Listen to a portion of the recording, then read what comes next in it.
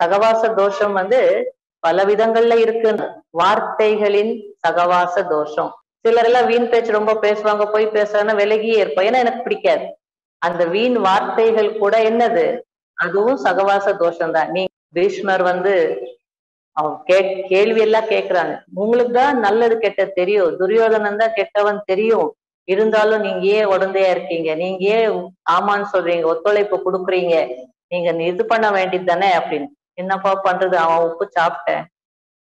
நான் ஒன்றும் சொல்ல முடியல. வாய் அடைச்சிட்டான் சொல்லி அவங்க இவ்வளவு நாள் நமக்கு சாப்பாடு போட்டாங்க. அப்படின்ற மாதிரி சில நேரத்துல அன்ன தோஷம். சில நேரத்துல செயல்கள் கர்மத்தினுடைய சகவாச தோஷம் இருக்கு. அவங்க அப்படி செய்யறாங்களா அதை பார்த்துட்டு நானும் செய்யறேன் அது அது கர்மத்தினுடைய சகவாச தோஷம். நான் கெட்டவங்களோட பழகல குறை சொல்றவங்களோட பழகல தீய காரியங்கள் செய்யறவங்களோட பழகல இல்லையா? கடைசியில வீண் எண்ணங்களுடைய சகவாச